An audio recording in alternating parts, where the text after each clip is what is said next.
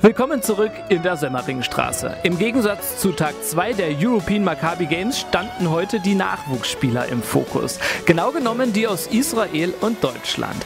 Wir erinnern uns, am Dienstag kassierten diese beiden Länder bei den Großen jeweils eine empfindliche Niederlage. Da stellt sich natürlich die Frage, welche Maccabi-Auswahl sich zukünftig mehr auf Unterstützung aus dem eigenen Nachwuchs freuen kann.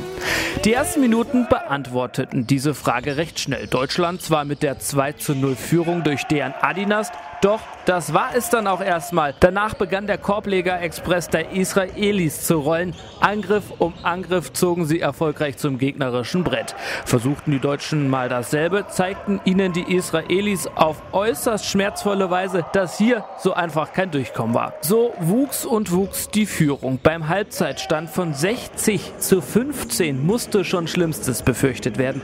Doch die deutschen Basketballer zeigten sich nach der Pause leicht verbessert. Zwar verloren sie immer noch häufig den Ball und lieferten ihren Gegner damit einfache Punkte, aber hin und wieder wehrten sie sich dann doch. Jaden Milnicki versuchte sein Glück immer wieder aus der Distanz und war damit auch das ein oder andere Mal erfolgreich. Israel war auf solche Einzelaktionen nicht angewiesen. Sie verteilten die Scoringlast vorbildlich auf mehrere Schultern und spielten die Partie damit souverän herunter. Genau in diesem Teamspiel sah Gal Zebak auch den Schlüssel zum 120 zu 37 Erfolg seiner Mannschaft.